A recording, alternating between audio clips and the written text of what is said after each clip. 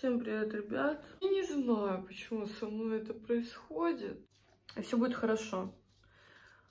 У нас, например, знакомство с родителями Валеры не состоялось, потому что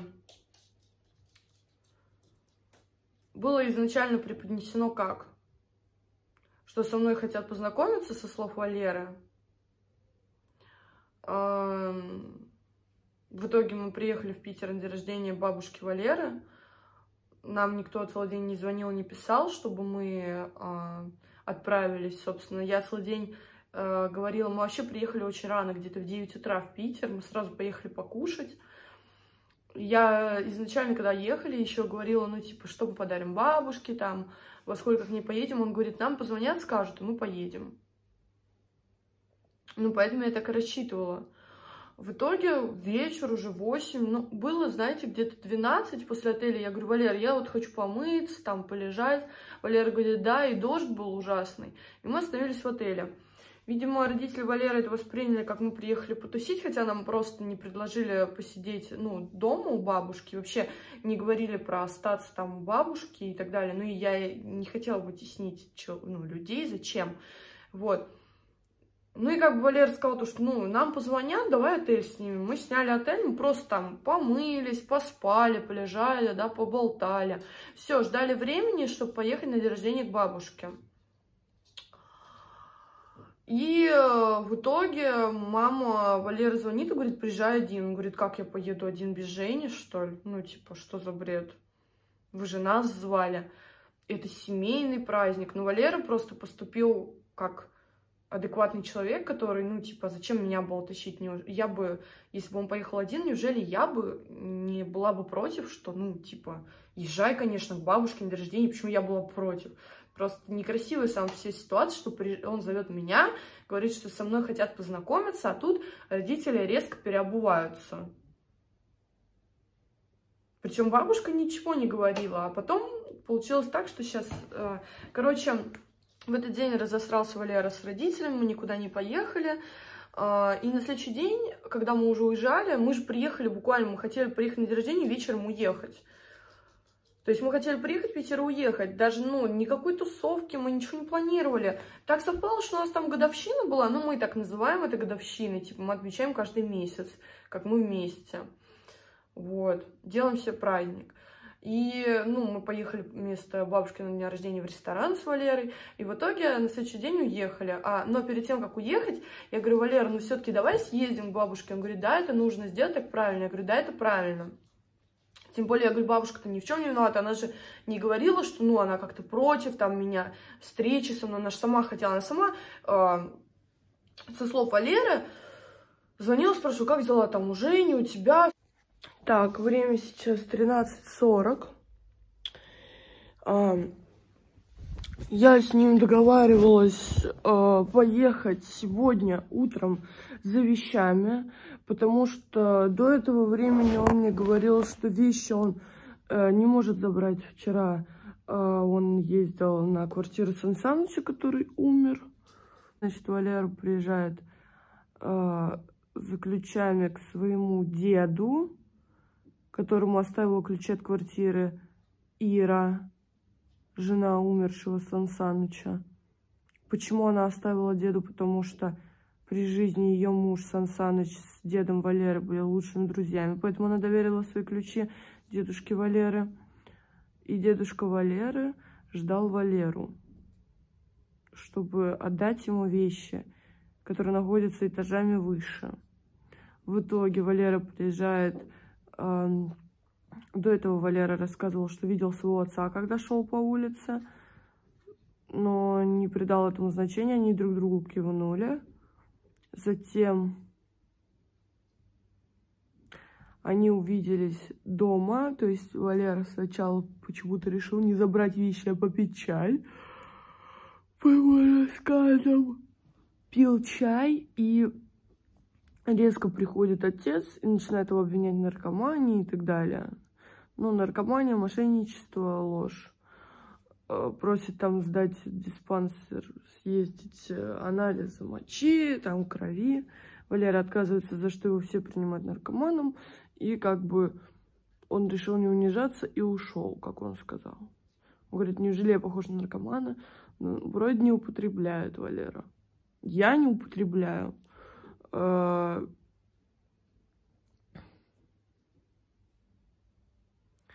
потом, значит, получается... Вот он приезжает без вещей, мы вчера вечером с ним договорились, вообще не хотел ко мне приезжать. В итоге я сказала, ну ты чё, обалдел?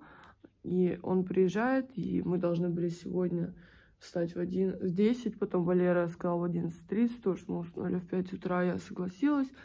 А, и поехать в Альфа-банк, чтобы ему карту, он почему-то разрезал карты на днях, сказал, что со злости. Вот, то есть мы установили карту, мы должны забрать карту, на ней деньги и оплатить, соответственно, iPad, ой, MacBook, iPhone, ему iPhone, мне MacBook возместить и наушники AirPods, которые он, не знаю, что с ним произошло, говорит, что остались дома у его родителей мои вещи. Вот. С родителями тоже общалась. Они сказали, что вы, Женечка, даже не знаете, на кого попали. Мы в Краснодаре, ой, Красногорске живем, приезжайте к нам. Мы с удовольствием, он лжец. Я говорю, что же у меня, ну, сразу не предупредили, как же ваш сын такой вот плохой ходит по земле-то по белой. Они говорят, ну, вот так.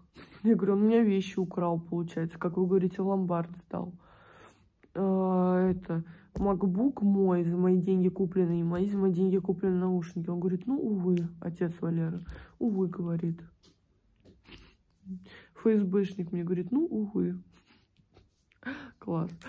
А, короче, полный Pizdation of Creation. И, собственно, вот, сегодня мы просыпаемся, время 12 с чем-то, 12.50. Я вижу, что я видела, как он меня не разбудил, почему-то продолжил спать. Ладно, это можно спустить на то, что человек не выспался. Вот, но в итоге я начинаю одеваться, все, я оделась, накрасилась, и человек мне говорит, так, мне надо отъехать. Я говорю, в смысле отъехать? Я буквально на час. Я говорю, Валер, почему какие-то проблемы, когда нам нужно куда-то поехать? Вот у нас дела, почему ты, блядь, резко испаряешься, куда-то пропадаешь, уезжаешь? Что за хуйня? А, на что мне человек говорит? Мол, Женя говорит, блядь, вот так вот нахуй.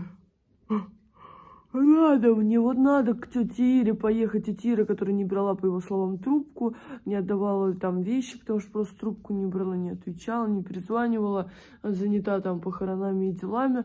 И вот, и она тут звонит Валерии, говорит, надо подписать документы. И Валера прям ринулся подписывать документы.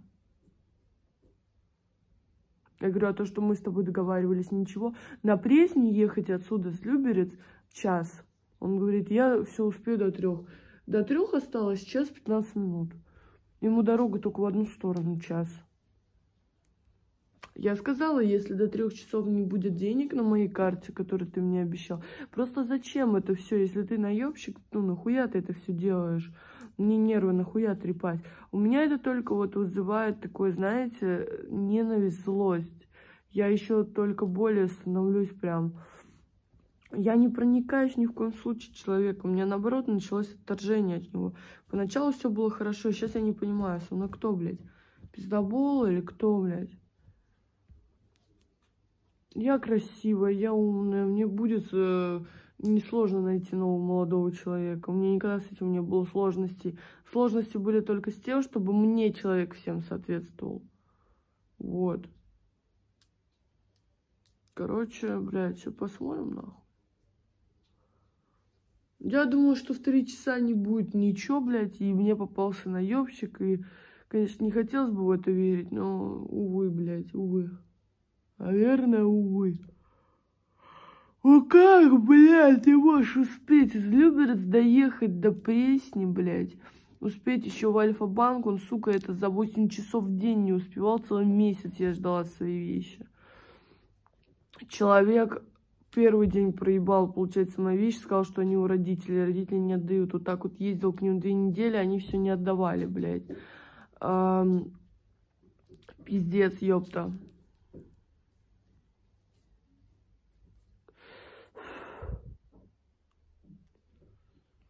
Не понимаю, вот что за нахуй? Что, блядь, долбоеб? Он... Если он реально окажется мошенником, то он пиздец конченый долбоеб, потому что у меня пиздить нечего, блядь. У меня самое дорогое, это я, блядь, в квартире. Ну, айфон мой, ну, блядь, который в камень превратится, если его спиздить. Ну, MacBook 125 тысяч стоил, ну, заложил он его, я не знаю за сколько. Ну, хотя, если новый MacBook, он же знает пароли и так далее. Наушники AirPods у меня чистенькие, новенькие, последние. Ну, тоже тысяч десять, пять, не знаю, заложил. Они в идеальном состоянии, блядь. Вот. Ну а нахуя это все делать было? Нахуя, блядь? На займы, ну, не знаю, может он как-то и крутился, и занимал, я не знаю. Рестораны, бары. Нахуя это все? Просто, блядь. Ой, пиздец, блядь.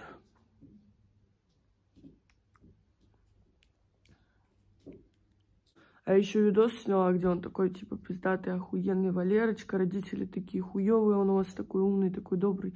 Аж заплакала даже. Пошел ты нахуй, не буду я его, блядь, выкладывать. После всего того, что происходит. Честно, в ахуе со всего, что происходит в моей жизни. Просто и много всяких вообще подробностей, если я буду... Надеюсь, что не буду делать никакое расследование на Валеру, блядь. Но, блядь, это будет вообще клеймо на всей в моей жизни у меня такого никогда, блядь, не было. Ну, скажем, может быть, каждый может попасться, чё. Каждого могут обмануть. Тем более, ну, если он реально окажется пиздополом, то я больше доверять не буду никому. Потому что, ну, тяжело после такого. У меня много чего в жизни говна было, на самом деле. Но чтобы вот так наебывать, ну, реально, если он реально меня наебывает, он мошенник, то он пиздец какой долбоеб, потому что можно было дочку миллиардера, и не знаю, кого-нибудь побогаче выбрать.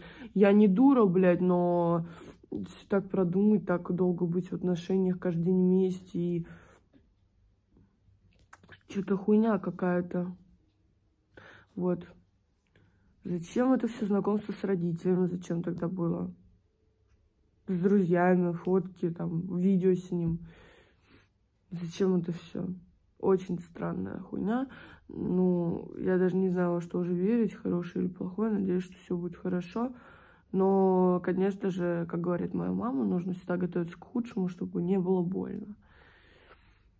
В любом случае, это будет не опытом. А заработаю я деньги и все куплю себе, и больше никого не пущу в свои хоромы люберецкие. Вот все будет хорошо. Каждый имеет право на ошибку, и я не виновата. Я просто э, доверилась человеку, хотела любить и быть любимой. Вот и все.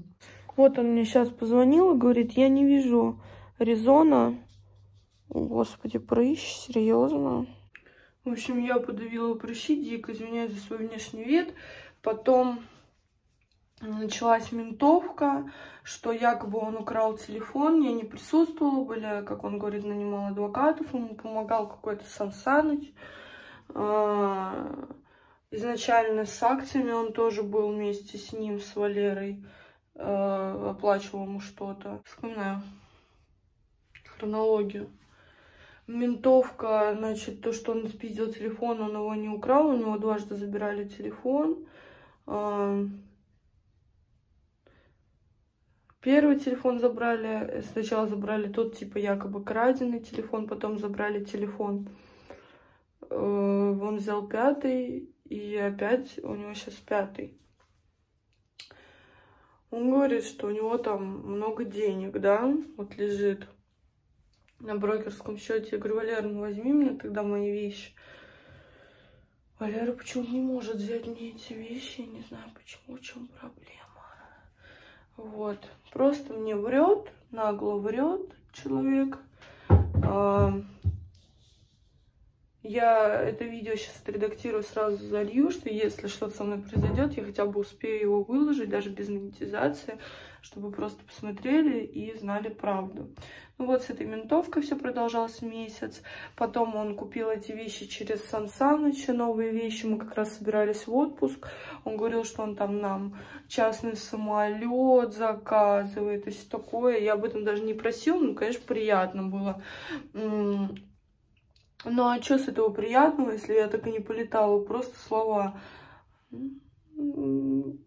Короче, в итоге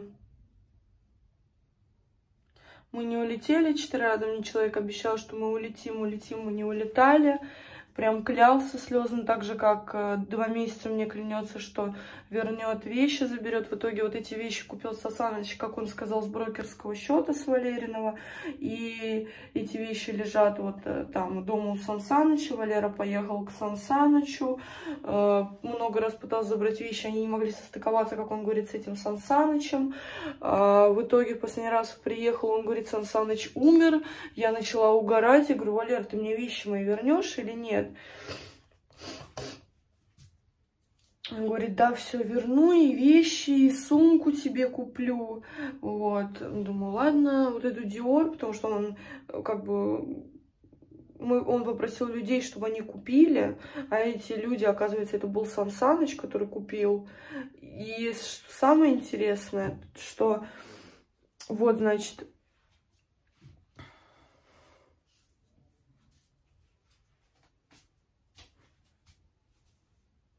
Короче, он с этим, э, вот Сан Саныч умирает, у Валера не может забрать вещи, говорит потом, что это все происходит в течение двух месяцев, что он их заберет, заберет, заберет. Все это время я все оплачиваю, плачу за квартиру, плачу за еду, которую мы едим, такси, кино, все оплачиваю я. А, слава богу, не рестораны, блядь, потому что, ну, за мужчиной платить никогда не буду. Но так я покупала для дома, и он говорил, что, ну, я тебе переведу. Я говорю, хорошо, все для отпуска я покупала, там, чемодан, то есть 20 э, тысяч улетели вместе со всякими принадлежностями для отпуска. А, ну, то, что вот белье стирать, это тоже не дешево стоит, все я оплачиваю. Вот, жрет за мой счет, спит за мой счет. А, в итоге э, он приезжает, там в этом доме живет его дедушка, где живет этот Сан Саныч, и типа э, его жена Ира передала ключи Валере, а, ой, дедушке Валеры, а, и Валера должен приехать к дедушке, забрать вещи. Первый раз, он просто не успевает, как он сказал, заехать, хотя он изначально за этим поехал где-то э, в час дня, да, он не успел за целый день, прикиньте, блядь,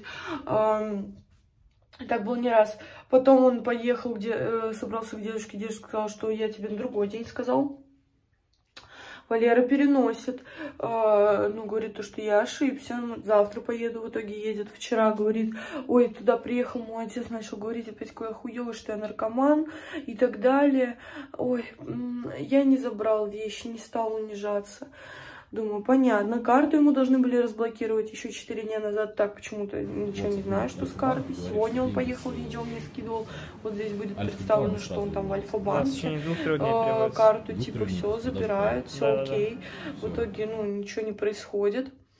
И э, был момент, когда вот это, помните, я выкладывала, что Валера один по аэропорту гуляет, он это объяснил, как э, я приехал, чтобы проверить, э, меня отпустят ли за границу, потому что на меня завели уголовное дело, и как бы... Э, я выездной или нет, я решил пораньше поехать проверить, когда уже, блядь, все куплено, типа, что, зачем, ты, ты меня убеждал, что все нормально, вот, он это не брал трубку, выключал телефон и так далее, и мне звонят его родители, говорят, Евгения, вы живете с мошенником и лжецом, а, мы с вами всегда хотели, говорят, познакомиться, приезжайте хоть сейчас, я говорю, хорошо, а что мне делать с а, вещами, которые он мне забрал, мне отец его говорит, ну, увы, Увы, наш сын вор, да, увы. Просто. Я говорю, я не хочу с вами видеть, в чем делать с вещами. Отец его, как Валера сказал, ФСБшник. Его отец мне говорит, что он сторож простой. Я вообще не понимаю, если честно, что происходит. И сейчас Валера, я ему звоню, он не берет трубку, хотя звонок идет, перезванивает мне спустя 30 минут и постоянно отключает микрофон и говорит, что я говорю, Валер, ты обещал сегодня вещи в 3 часа дня привезти, уже 10 вечера. Он такой, нет, вещей у меня нет. уже таким спокойным, пухустичным голосом. Я сейчас сделала так, я говорю, что если я сказала, ты хочешь остаться, э, чтобы я это не освещала, то покупай мне MacBook и наушники, и мы спокойно расходимся. Если ты этого не делаешь, забирай свои вещи, я это выкладываю, освещаю. Вот и все.